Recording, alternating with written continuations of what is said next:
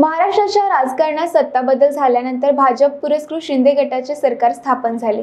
मुख्यमंत्री म्हणून एकनाथ शिंदे आणि उपमुख्यमंत्री म्हणून देवेंद्र फडणवीस यांनी कारभारभार सांभाळला. नवीन सरकारच्या कामकाजाला सुरुवात सुद्धा झाली. नवीन सरकारच्या मंत्रिमंडळाचा विस्तार अजून बाकी आहे.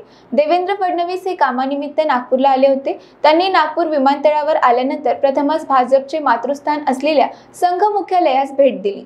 देवेंद्र फडणवीस हे आज नागपूरला आले. यावेळी विमानतळावर आल्यानंतर त्यांनी थेट राष्ट्रीय स्वयंसेवक संघाच्या मुख्यालयात जाऊन सरसंघचालक मोहन भागवत यांची भेट घेतली. आहे संघ मुख्यालयात ते बरोबर नऊ वाजता आले होते. तब्बल पंचेचाळीस मिनिटे त्यांनी सरसंघचालक यांची भेट घेतली.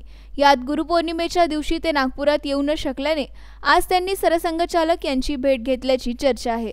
तसेच उपमुख्यमंत्री झाल्यानंतर ते पहिल्यांदाच संघ कार्यालयात भेट घेत आहे अनेक विषयांवर चर्चा केल्याचे बोलले जात आहे. यात नेमकी चर्चा काय असावी यावर मात्र तर्कवितर्क लावले जात आहे. बॉस ने मीटिंग बुलाई क्या यार? आदमी की तकलीफ़ को तो समझो.